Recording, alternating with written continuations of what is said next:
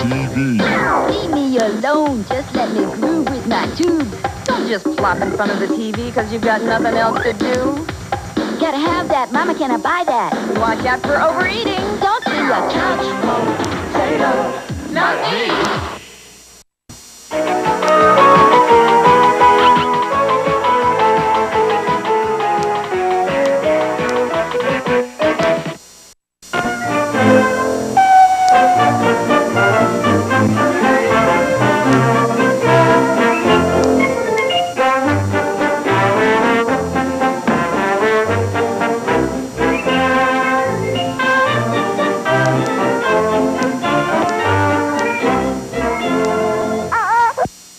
I guess that's right, huh? Oh, that handful in there now.